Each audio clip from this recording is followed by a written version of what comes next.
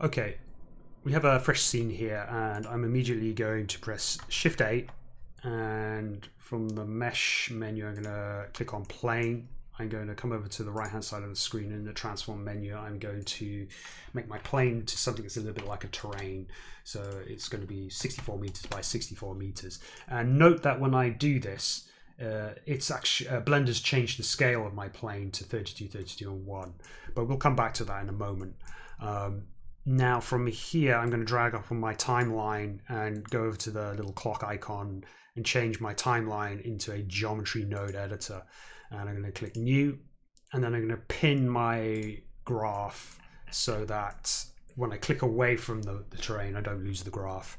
Um, now, I want to start scattering things on my terrain.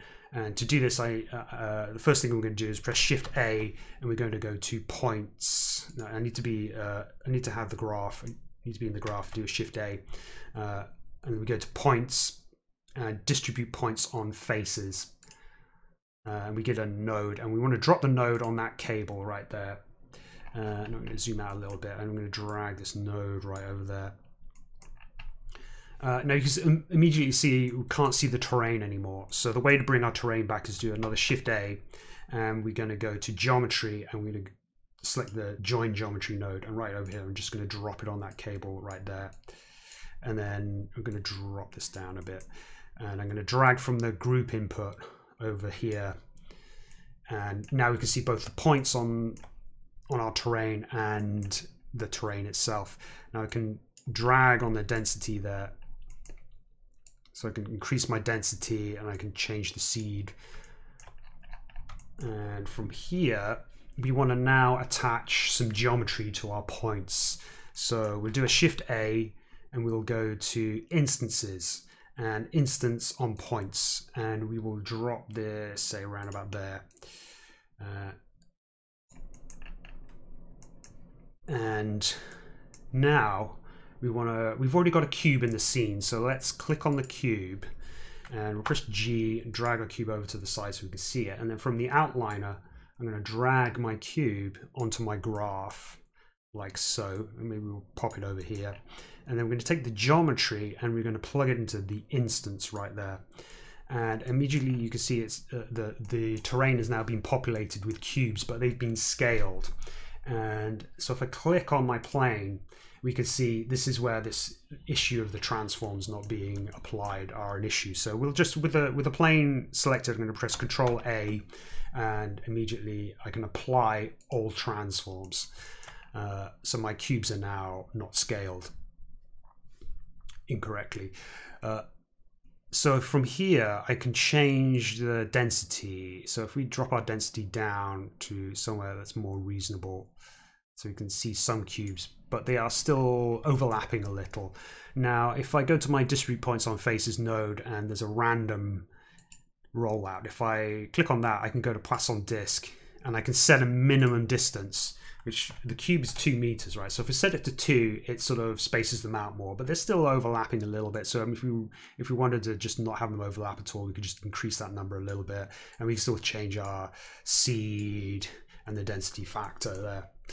Uh, now, our cube is a proxy for a rock, so it might be reasonable to expect that our rock might be rotated. So we do a Shift A whilst in the graph, and we go to Utilities, and we're going to pick a random value, uh, and we're going to drop our random value down here.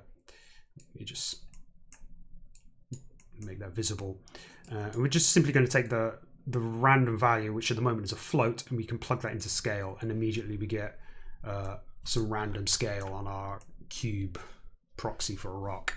Uh, now I'm gonna, I'm simply just gonna do a Shift D on that, produce another random value, and we're gonna change this to a, vector, and we're gonna plug this into rotation. Now we've got random rotation on our rocks. Uh, now I'm going to select that nice little group of nodes and I'm going to do a, control C, control V to duplicate them and I'm going to move these below that and I'm going to plug it in, in in exactly the same way as the previous set of objects.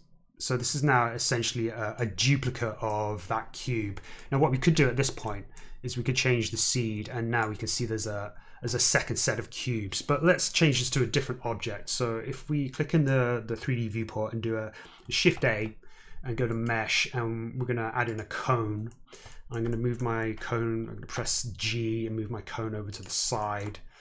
And then I'm going to come over to the outliner again. I'm going to drag my cone onto the graph. I'm going to delete this duplicate of that cube and I'm going to plug it in exactly the same way into instance over here. Now we can immediately see the cone is starting to appear, but it's uh, sitting in the terrain and it's it's also rotated. So let's deal with the rotation. I'm just going to effectively disable the rotation by putting a bunch of zeros into the max value there so it's not rotated. But it's still sitting in the terrain. So if we come over and click on make sure we've got the uh, we've clicked on our on our cone. We can go up into the right hand top corner and click on options effect origin only and then with the if I come over and just get the the transform gizmo to appear I can move the transform gizmo which is which is the origin now uh, to below the tree so that the tree or our cone is now just above the surface or maybe on it, however you want it. And uh, at this point, with that selected, I can press tab to go into uh, edit mode.